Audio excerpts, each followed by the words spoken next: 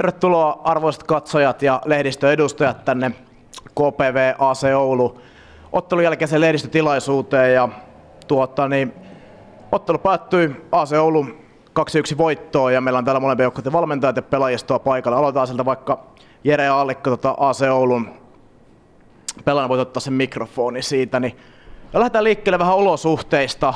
Tänään varmaan koko helle aalto on Suomen yllä, yllä, mutta tänään varmasti yksi kuumimpia päiviä.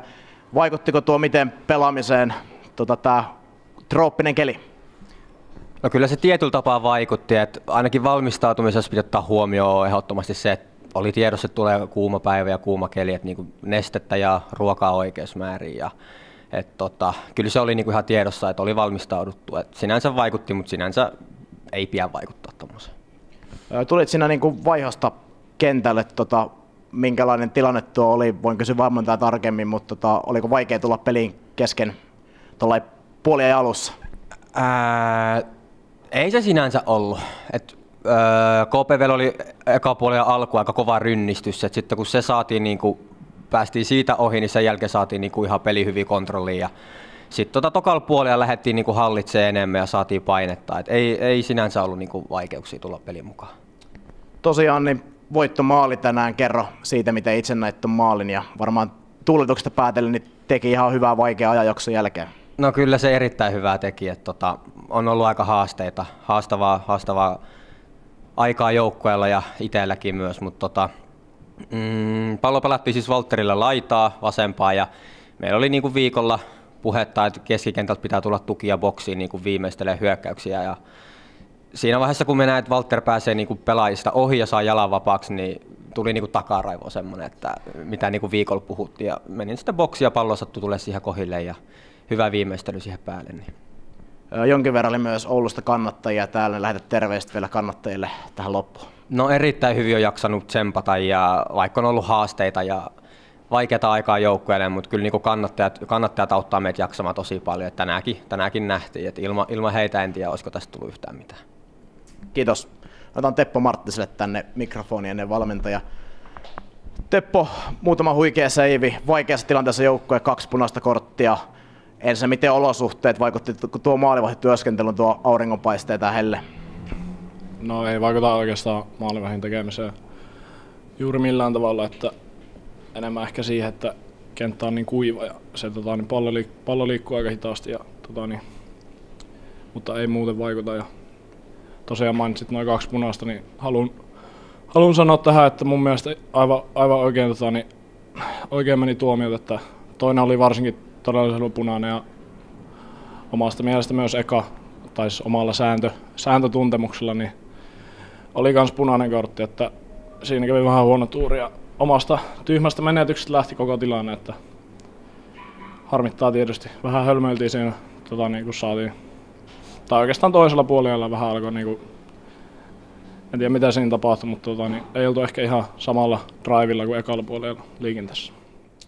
Kiitos Teppo näistä kommenteista ja otetaan sitten joukkueen valmentajat, vaikka Mika Lähderin ensin. Öö, ensinnäkin kolme tap, periaatteessa tappia nyt voitto, niin miltä tuntuu? No henkisesti tärkeä voitto. Toki sitten tulevat ottelut näyttävät, että kuinka tärkeää, mutta, mutta olihan tuolla pukukopissa niin oli, oli huojentuneita, huojentuneita ilmeitä ja, ja, ja eleitä. Et, et, et, tyytyväinen pitää olla. Tosiaan tuon Soton vaihdot pois tuossa puoliajalla, sinne vähän spekuloitiin selostamassa, että oliko jotain vammaa vai oliko ihan taktinen liike, että Allikkohan tuli loistavasti sisään. Ei ollut vammaa. Yes. Miten tuota tuo toisen puolen alku teiltä aivan loistava, omasta mielestä KPV ehkä niskan päällä ensimmäisellä puolella, mitä siinä tapahtui, muutitko jotain vai miten itse näit Joo, KPV vei kyllä ensimmäistä, ensimmäistä puolia aikaa, että et, et, oltiin hiukka liian passiivisia ja, ja, ja sitten meille tuli paljon, paljon semmoisia pallonmenetyksiä, mitä nyt ei tällä tasolla saisi sais enää tulla. Mutta mut saatiin ryhtiliike siihen toiselle jaksolle ja, ja, ja se, oli, se oli hyvä peliä meiltä. Toki sitten ne punaiset niin tietyllä tapaa helpotti, helpotti urakkaa, mutta, mutta, mutta toisen jakson joka tapauksessa olen, olen tyytyväinen. Onko tämä se ase Oulu, mitä haluat nähdä jatkossakin? No tietysti jokainen valmentaja haluaa nähdä voittavan joukkueen, niin totta kai.